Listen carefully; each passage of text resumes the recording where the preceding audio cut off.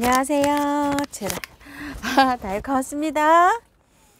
겨울철 제라늄 관리 한번 말씀을 드려볼게요.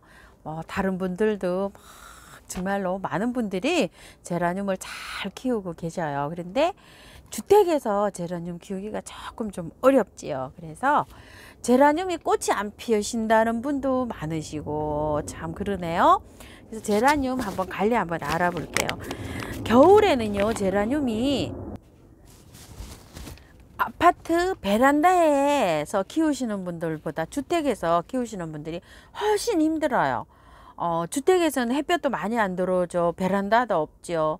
거실에서는 아니면은 저기 창가 막 이런 데서 키워야 되는데 어, 참 어렵죠. 베란다에서는 그래도 안에 이렇게 안쪽으로 이렇게 놓고 하면은 어, 꽃이 1월, 2월, 3월에 아주 만발을 하죠.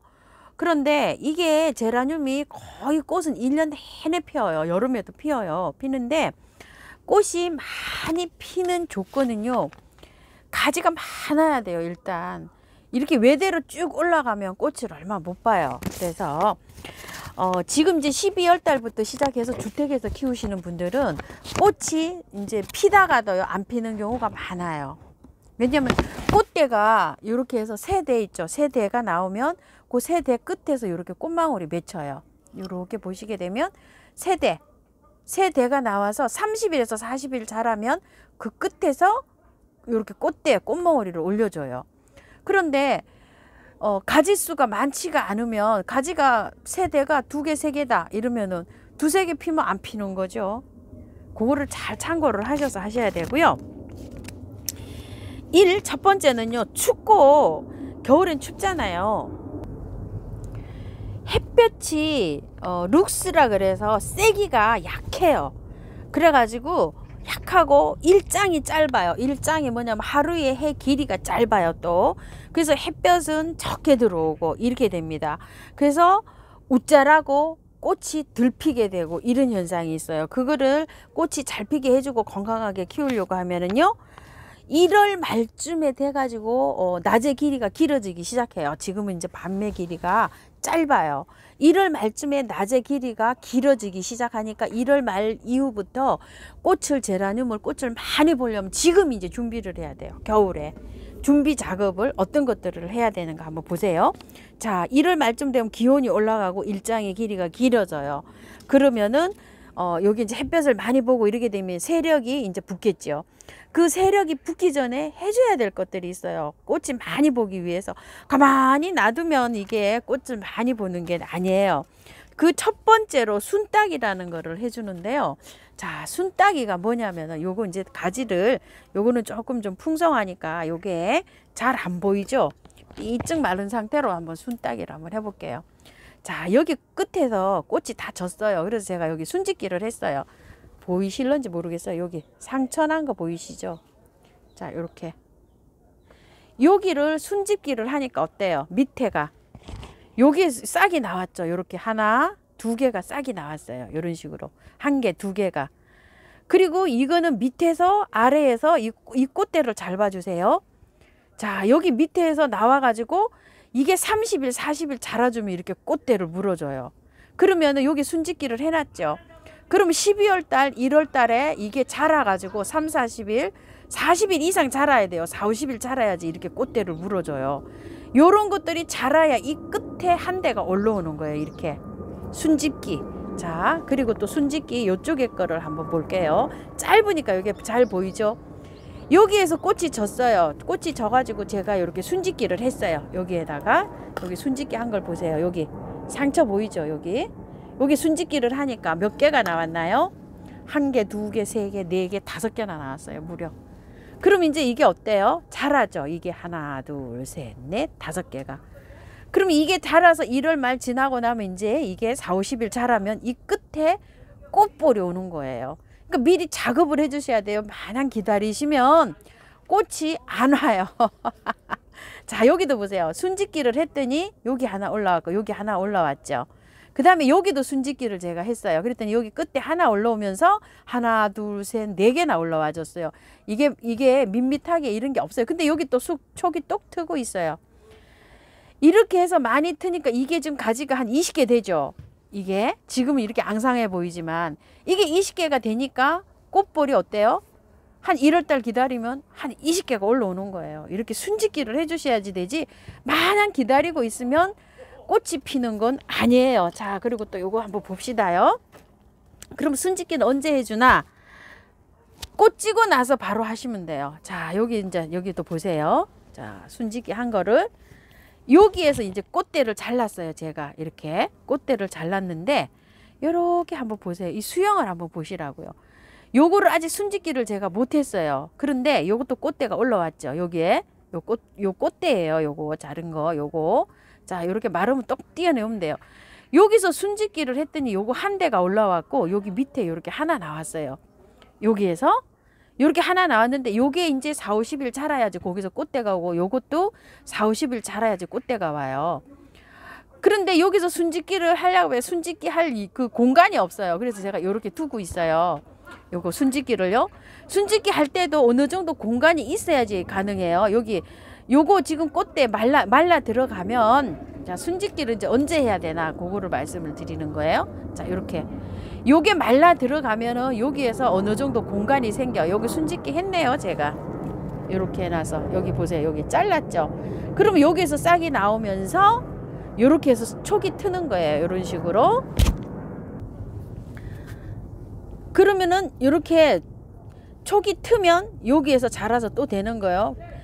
여기 순짓기를 좀 이렇게 했네요. 제가 안에 저쪽에서 봤을 땐 안에 안에 보였는데 이쪽에 보니까 순짓기를 해놨어요. 꽃이 지고 난 다음에 꽃몽오리를 따고 얘 상태를 봐서 순짓기를 하시면 돼요. 자, 요걸 한번 보세요. 이제 앞으로 순짓기 대상입니다. 얘가 이렇게요.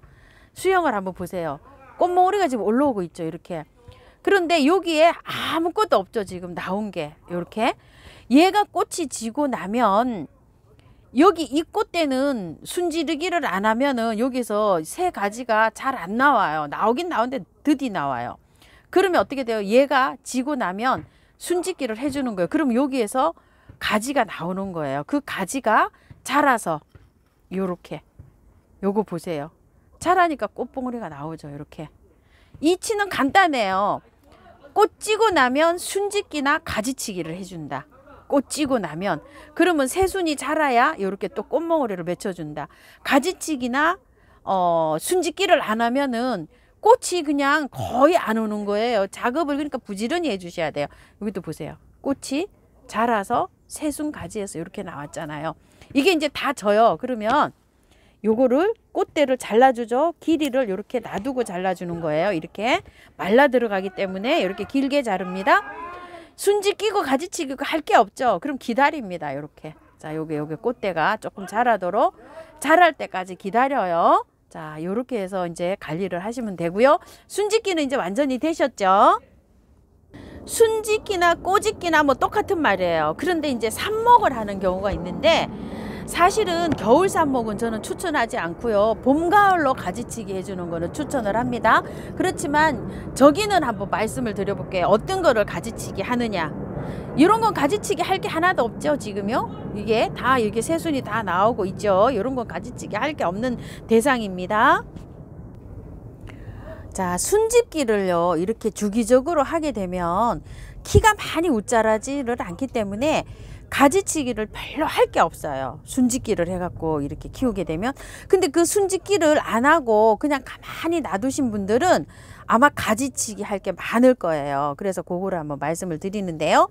가지치기 할 때는 요령은요. 여기 한번 보세요. 굉장히 복잡하잖아요. 이게. 제가 여기 거를 하나를 그 물러서 이렇게 사, 여기 띄어 있었어요. 원래는 작년에도 여기 있었어요. 자, 이렇게 있는데 이게 굉장히 복잡하죠. 복잡해가지고 여기가 이렇게 복잡한데 이거하고 이거하고 막 이렇게 겹쳐져 있잖아요. 이렇게 겹쳐져 있으면 이거나 이거나 하나 제거를 해주는 게 맞아요. 어, 저는 요거를 제거해 줄 거. 요거 앞에 거보다 이 속에 거 있죠. 이쪽에 거 치이고 이쪽에서도 치이잖아요. 얘가 가운데서. 근데 다 이 똑같이 올라가가지고 이게 힘들죠. 가지치기를 해줄 때는 얘보다도 요 뒤에 거를 해주는 게 좋아요. 이렇게 좀 이렇게 한 손가락 한 마디 정도 놔두고 잘라주는 게 좋아요. 이렇게 잘라줘서 요 뒤에 거를 삽목을 하는 거예요. 이런 식으로 가지치기를 한다고 예를 들자면은요. 그리고 이쪽에 것도 이렇게 보시면 여기가 여기 복잡하죠. 이렇게 이렇게 복잡해 가지고 얘가 지금 저기 가늘고 자라지도 못하고 이렇게 하고 있잖아요. 얘 만약에 해준다고 하면 얘를 가지치기를 해주는 거예요. 한 마디 정도 나르고 요만큼 잘라가지고 얘를 삽목을 하는 거예요. 가지치기를. 가지치기 하는 예를 말씀을 드리는 겁니다. 얘하고 얘하고. 그러니까 불필요하다거나 겹쳐져 있다거나 그런 것들에 해서 튼튼한 거를 놔두고 어, 잘 자라지 못하는 거를 잘라내는 거예요. 저는 요거 같으면 요 이제 그거를 할 것 같고요. 요거는 한번 보세요. 수영을 한번 요렇게 보시게 되면 자 요거 이제 가지치기 해서 여기서 가지치기를 해서 제가 꽂아 놓은 거예요. 그런데 수영을 이렇게 보시면 밑에 거 이거 있죠. 이, 이 가지. 자 여기 한번 돌려볼까요? 이 가지가 너무 밑에 이렇게 달라붙어 있잖아요. 저는 이게 자라면은 이거를 가지치기 해줄 것 같아요. 요거, 요거, 요 가지를. 요 가지하고 요 가지하고 딱 붙어서 이러고 있잖아요. 지금 이렇게. 그러면은 이, 이 위에까지는 놔두고 요거 밑에까지가 이렇게 있을수록 요게 좀 그렇거든요. 저는 이 가지를 삽목을 해줄 것 같아요. 자, 이렇게 다시 돌려서 볼게요. 이거, 이 가지. 이렇게 본인이 봤을 때 필요 아 이게 없어지면 얘가 좀 시원하겠구나 이렇게 생각되는 가지를 잘라주는 거예요 가지치기는 그리고 이제 얘가 이렇게 자라가 올라가는데 이게 여기에 딱 붙어 갖고 이렇게 돼 있잖아요 그러면 이건 이제 가지치기 할 때 여기서 가지를 받으려고 생각을 하시면 입장을 하나 두 개 정도 놔두고 자르셔야 돼요 이렇게 여기 위에가 겹쳐 버리잖아요 이렇게 보시게 되면 여기가 얘하고 얘하고 이렇게 겹쳤죠. 여름에 이렇게 겹쳐지면 하나는 물러요. 그렇기 때문에 가지치기를 해준다고 생각을 하면 얘를 해줘야 되겠죠. 요거를. 그래서 한두 잎 놔두고 가지치기를 얘를 이렇게 해줍니다. 어, 지금 하는 것보다요. 지금은 추워서 가지치기를 하잖아요. 그러면은 온도를 한 10도 이상 두셔야 돼요. 그래야지 뿌리 내림이 원활하지. 5도 이렇게 되면 좀 추워서 잘 안 돼요. 그래서 지금은 저는 안 해요. 요거를 봄에 한 2월 달쯤 따뜻해지면 가지치기를 할 거예요. 자, 요렇게 해서 가지치기는 좀 말씀드렸고요. 이렇게 순딱이나 어, 지금부터 수시로 이렇게 하는 거예요. 꽃 찌고 나면. 꽃을 지고 나면은 해주는 거. 이것 좀 보세요. 제가 여기에다 순따기를 했죠. 순따기를 했는데 하나만 나와서 이렇게 올라갔어요. 그래서 여기 순따기를 또 했어요. 근데 또 이렇게 한 대만 올라왔어요. 이렇게 될 때 순치기나 가지치기를 할 때는 저 같으면 아예 여기를 자르겠어요. 그냥 이렇게. 여기 보기 싫잖아요. 이렇게 단계적으로 올라가서 그죠? 키도 뻘쭘하게 컸고 여기서 새순이 나와주면 좋은데 안 나와줄 수도 있어요. 그렇기 때문에 가지치기를 할 때 여기를 뚝 잘라버리면 이게 도태돼서 들어갈 수도 있어요. 그렇기 때문에 여기에다가 잎을 한두 장 놔두고 해야 돼요. 그래서 여기에 유도를 해야 돼요. 순이, 새순이 나오게끔. 요렇게, 요렇게 된 상태에서 자르는 거는요. 여기요. 요렇게 된 상태에서 아무것도 없잖아요. 지금 그쵸? 여기서 나와주면 좋은데 요런 거 자르실 때는 그렇게 가지치기를 해주시고요. 지금 이제 하셔도 좋지만 소강 상태를 보이고 있잖아요. 이럴 때 점검을 겨울에 이렇게 이제 관리를 해주는 게 좋아요. 물주기는 어떻게 하냐면은요. 물을 어 저기 여름에도 물을 조금 좀 줄여서 주지만 봄 가을로는 자라기 때문에 물을 많이 먹어요. 통풍도 잘 되고. 그런데 지금 겨울에는요. 문을 못 열어놓기 때문에 통풍이 안 되기 때문에 평소에 2분의 1만 주셔야 돼요.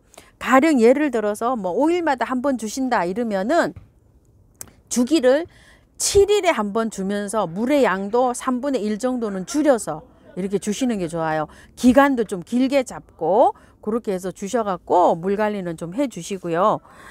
어, 저면을 하시는 분이 많잖아요. 제라늄은요.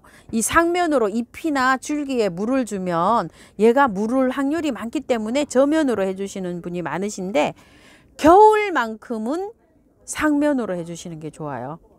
왜 그러냐면은 물을 좀 줄여줘야 되는데 저면으로 하면 얘가 물을 너무 많이 빨아들여요.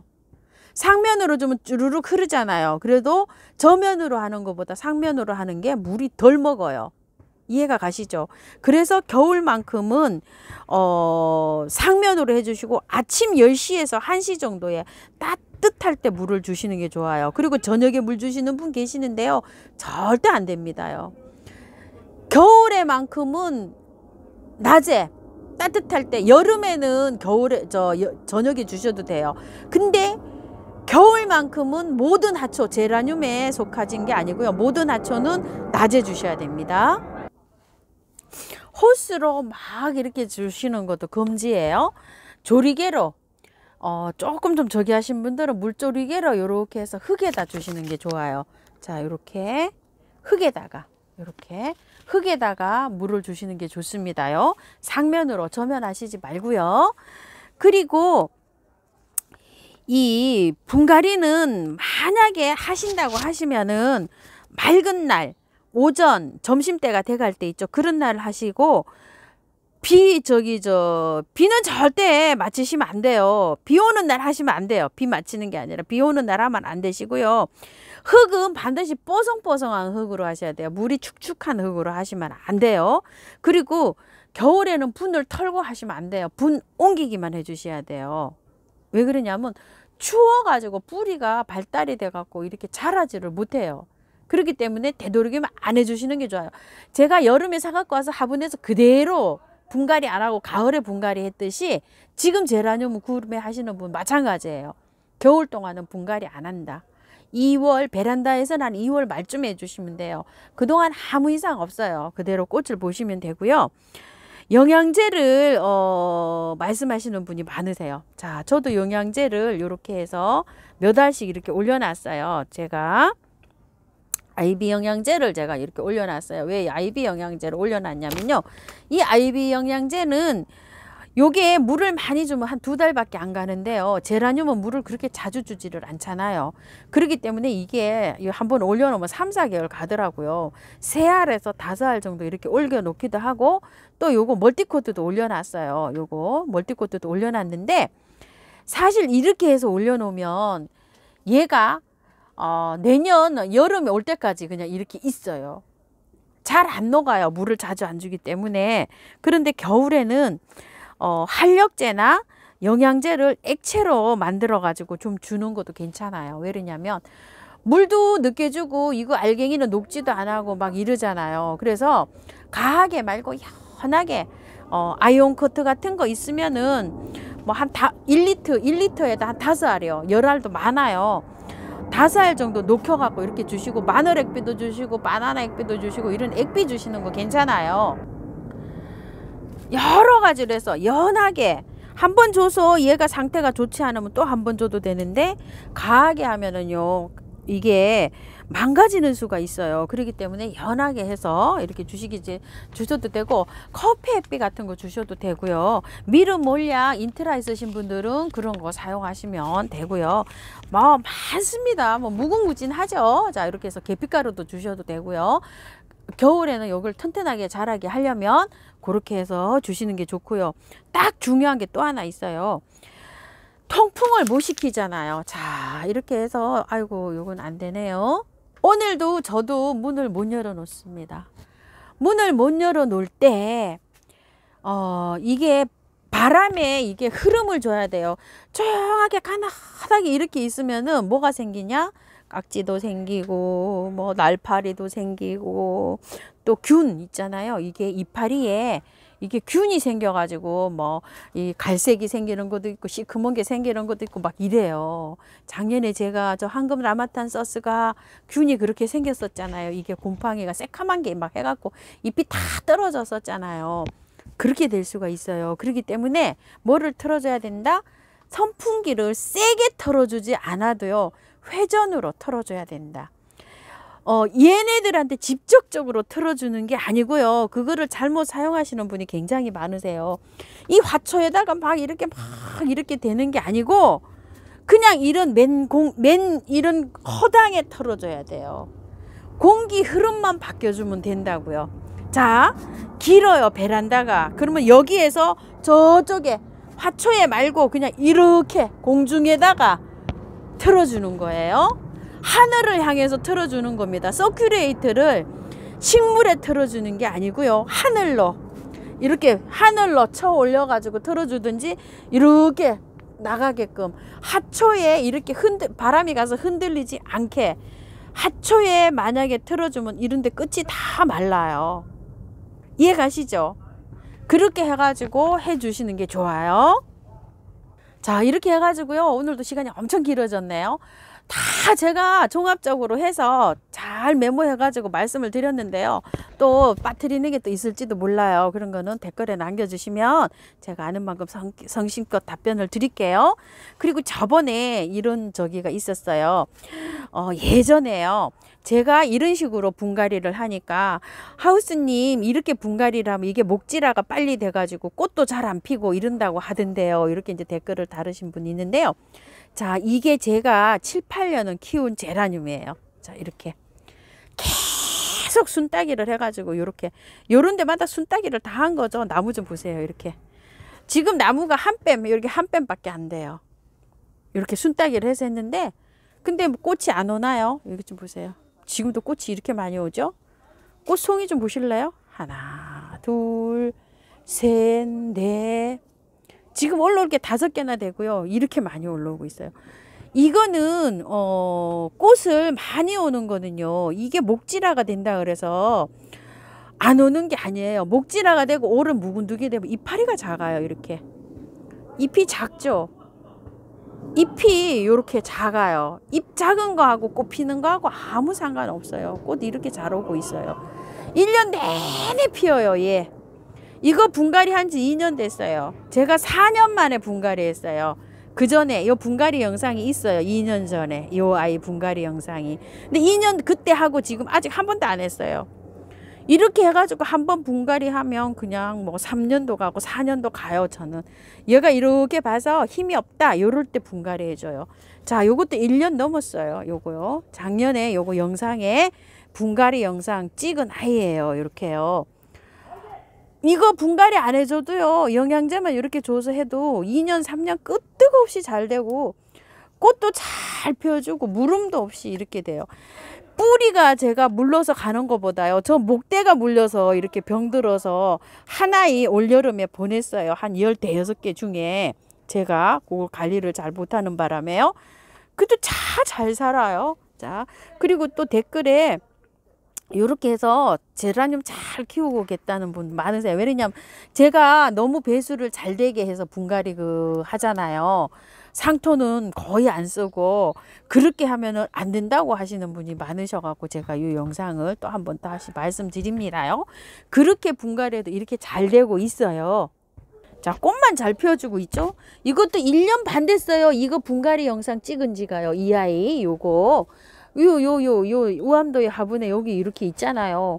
잘만 펴요, 잘만 펴. 잘만 됩니다. 제가 키워보고 잘 되니까 그런 식으로 해서 이렇게 해서 하는 거니까요. 어, 따라서 그게 흙배 비율 맞춰서 하실 분은 한번 해보세요. 너무 걱정하시지 마시고요. 자 이렇게 해서 겨울철 제라늄 관리 이렇게 말씀드렸는데 단 한 가지 또 지금 어 빼뜨린 게 있는데 꽃이 이렇게 좀 피려고 하면 온도를요 10도 이상으로 좀 두셔야 돼요. 너무 춥게 하면 꽃 안 와요. 꽃안 안, 안 오신다고 하는 분이 밤 온도가 막 베란다 막 0도 가까이 떨어지잖아요. 그러면은 한 번 그런 거를 추위를 겪으면 한 달 이상 안 와요 얘네들이. 그러니까 관리를 고를 땐 잘 하셔야 되고요 너무 추운 날은 거실에 잠깐 들였다가 다시 빼는 한은 있어, 있든지 아니면 저처럼 난로를 켜주든지 해서 온도를 10도 이상으로 맞춰야지만 이게 꽃이 옵니다요. 자 이렇게요. 꽃이 이렇게 꽃망울이를 맺혀서 줄 때는요. 자 이렇게 해서 오늘도요 제라늄 겨울철 관리 한번 어, 영상에 한번 담아봤습니다요 참고하셔서 예쁘게 잘 키우세요 감사합니다